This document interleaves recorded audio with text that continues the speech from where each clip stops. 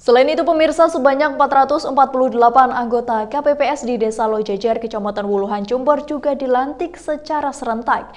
Mereka juga melakukan aksi penanaman pohon sehingga sangat diapresiasi oleh tokoh masyarakat setempat. Namun sayangnya pemirsa informasi tersebut sekaligus menjadi penutup jumpa kita pada berita Jumber kali ini. Anda juga dapat mengakses informasi tadi pada website kami di www.jumber1tv.id. Saya Prima Kinki mewakili seluruh kerabat kerja yang bertugas mohon undur diri. Terima kasih atas kebersamaan Anda. Sampai jumpa dan salam 1 TV. Pada hari Kamis 25 Januari 2024 telah dilakukan pelantikan KPPS secara serentak. Di Desa Lojajar, Kecamatan Wuluhan, Jember, terdapat sebanyak 448 anggota KPPS yang dilantik dan diambil sumpah. Komitmen ini dipertegas karena KPPS sebagai kelompok penyelenggara pemungutan suara mengemban amanah yang sangat penting dari negara untuk menjamin terlaksananya pemilu pada tanggal 14 Februari 2024 sehingga para anggota KPPS diharuskan bertanggung jawab dan menjaga netralitas saat menjalankan tugasnya. Hari ini serentak seluruh Indonesia eh, KPM melaksanakan pelantikan KPPS, kemudian kegiatan penanaman pohon juga secara serentak nasional. Ada 448 anggota KPPS. Seluruh Desa Pejajar 64 TPS. Untuk jenis pohon kita menggunakan pohon e, jenis yang berkayu.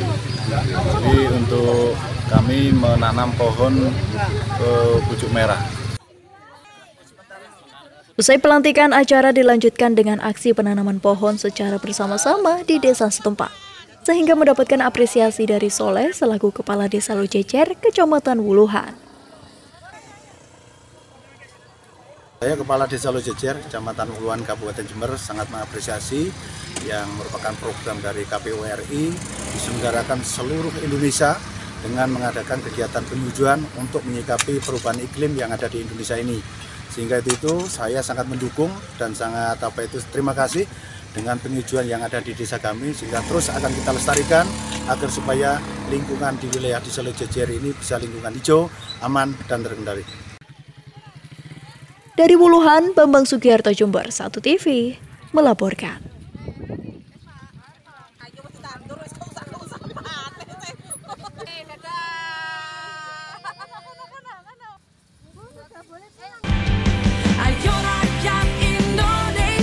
Halo warga Kabupaten Jember dan Lumajang. Pemilu serentak sudah semakin dekat. Segera pastikan pilihan Anda. Jangan lupa datang ke TPS pada hari Rabu, tanggal 14 Februari 2024. Anda akan diberikan pilihan 5 surat suara dengan warna yang berbeda. Pilih surat suara yang berwarna kuning untuk DPR RI. Cari Partai Golkar di pojok kanan atas. Kemudian coblos nomor urut 1 Haji Muhammad Nur Purnama Sidi. Bang Pur jelas, Jember Lumajang sejahtera.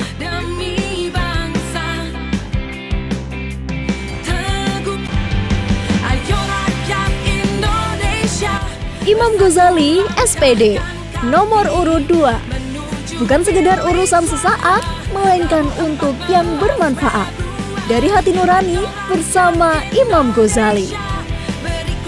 Jangan lupa coblos nomor urut 2. Pilih kertas warna hijau untuk DPRD Kabupaten. Cari nomor urut 10 Partai Hanura. Kemudian coblos nomor urut 2 Imam Ghazali. Sat-sat tembus langit.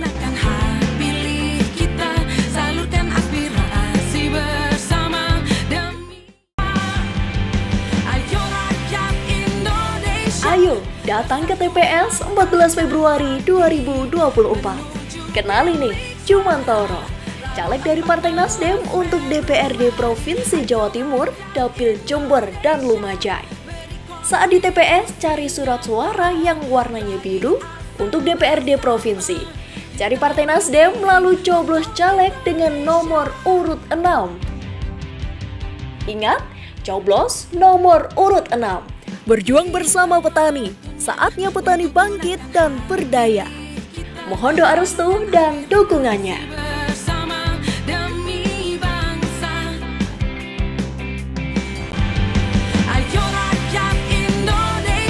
Aku NU, aku PKB. Jangan lupa datang ke TPS pada hari Rabu tanggal 14 Februari 2024. Buka surat suara warna biru untuk DPRD Provinsi Jawa Timur. Kemudian cari Partai Kebangkitan Bangsa atau PKB.